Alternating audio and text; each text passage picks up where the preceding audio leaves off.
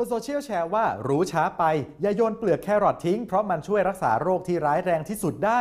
หืมชัวร์เหรอ เรื่องนี้ถ้าจริงก็มีประโยชน์และควรรีบบอกกันครับ แต่ก่อนจะแชร์ต่อต้องเช็คให้ถูกชัวร์ศูนย์ชัวร์ก่อนแชร์สำนักข่าวไทย อสมทสอบถามกับผู้อำนวยการสถาบันโภชนาการมหาวิทยาลัยมหิดลครับเปลือกแครอทมีประโยชน์รักษาโรคได้จริงเหรอครับ ถามว่าจะไปช่วยรักษาโรคได้ไหมมันคงไม่ใช่ คงจะคนละประเด็นกันนะคะอาจารย์คำนึงถึงความสะอาดการปนเปื้อนมากกว่า จริง ๆ แล้วแครอทเนี่ยถ้าสมมุติเป็นแครอทที่เป็นอินทรีย์เนาะที่ไม่ได้พ่นยาฆ่าแมลง เปลือกมันก็ทานได้ แต่ทีนี้แครอทที่เป็นหัวใหญ่ส่วนใหญ่แล้วเนี่ยมันไม่ได้อินทรีย์เขาบอกว่าเปลือกแครอทอุดมด้วยสารอาหารมีวิตามินซีมากกว่าเนื้อแครอท6เท่า ไม่ถึง 6 เท่าไม่ถึง 6 เท่า อันนี้ไม่จริงเลย อย่างดีก็ 1-2 เท่าเท่านั้น เปลือกเนี่ยเป็นตัวที่โดนแสงมากที่สุด โดนการกระตุ้นมากการสะสมพวกนี้ก็จะดีด้วย แม้ว่าอาจารย์มักจะพบคุณค่าที่เปลือกสูงกว่าเนื้อ แต่จะบริโภคหรือไม่ต้องดูเป็นรายกรณีไป ถามว่าระหว่างเปลือกกับเนื้อเนี่ยคุณค่าโภชนาการตรงไหนจะเยอะกว่าเท่าจากประสบการณ์ ถ้าเป็นพืชชนิดอื่นที่มาทดลองแล้วเนี่ยเปลือกเนี่ยจะมีสูงกว่า 1-2 เท่าของเนื้อ โดยเฉพาะเรื่องใยอาหาร บางอันเช่นแอปเปิลถ้าคุณปอกเอาเปลือกออกแล้วกินเฉพาะเนื้อจะได้แค่น้ำตาลคาร์โบไฮเดรตแต่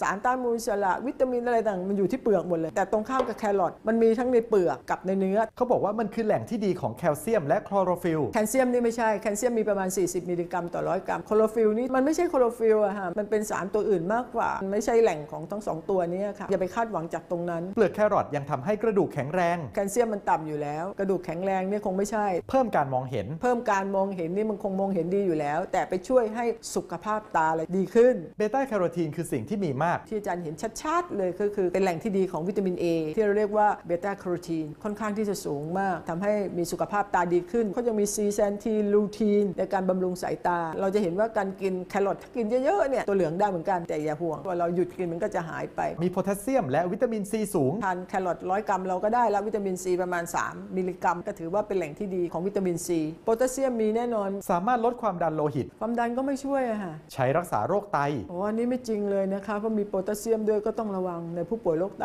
เช่นกัน เพราะฉะนั้นอันนี้ไม่จริงค่ะ ใช้เป็นยาฆ่าเชื้อ อันนี้ยิ่งไม่จริงใหญ่เลย ไม่ต้องคาดหวังในเชิงยาเลย แล้วจริงๆ เราควรกินแครอทแบบไหนดีครับ กินได้ทั้งสุกทั้งดิบแช่ในน้ำแข็งนิดนึง แล้วก็จะกรอบแล้วก็จะหวานทานสดได้เลยค่ะ แต่ถ้าเกิดจะไปทำเป็นซุปก็ต้มได้ ตัวของวิตามิน A ยังอยู่ไหมยังอยู่ ขอให้ใส่น้ำมันลงไปนิดนึงพวกนี้เป็นวิตามินที่ละลายในไขมันแล้วจะทำเป็นแครอทปั่นก็ได้ ถามว่าทานเปลือกได้ไหมได้ถ้าทานล้างสะอาด ที่ทานได้ทั้งเปลือกก็ทานได้แบบเบบี้แครอทนะฮะเราก็ไม่จำเป็นต้องไปเลาะเปลือกออก แต่สรุปแล้วเรื่องเปลือกแครอทนี่เป็นยังไงครับ ไม่ควรจะแชร์ต่อ เพราะว่าเนื่องจากเนื้อแครอทเองเนี่ยก็มีคุณค่าโภชนาการที่สูงอยู่แล้ว เปลือกถ้าไม่จำเป็นก็อย่าไปทานเลยค่ะ หลีกเลี่ยงเถอะค่ะ มีสารปนเปื้อนมา ไม่คุ้มกับการที่เราเอาสุขภาพไปเสียจากตรงนั้นนะคะ ไม่ละเลยคุณประโยชน์แต่ก็ต้องไม่มองข้ามโทษและผลเสียด้วยนะครับ ยังมีอีกหลายเรื่องน่าสงสัยบนสังคมออนไลน์ หากได้รับอะไรมาอย่าเพิ่งแชร์ต่อ ร่วมตรวจสอบไปด้วยกันกับชัวร์ก่อนแชร์ใช้โซเชียลให้เกิดประโยชน์ ต้องแชร์ข้อมูลที่ถูกต้องค่ะ